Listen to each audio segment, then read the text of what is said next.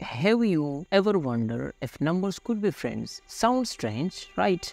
But in the world of mathematics, there's hidden secret where numbers from unique and mysterious bonds. Today, we are diving into such a secret, friendly numbers. Welcome to Mindsphere.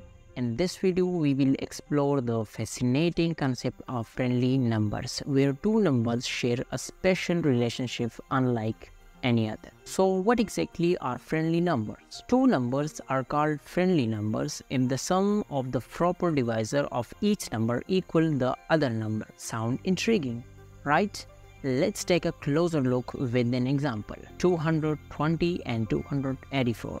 Let's begin with the 220. The proper divisor of 220 are these. When we add them all up, what do we get? Isn't that amazing? Now let's switch our focus to 284.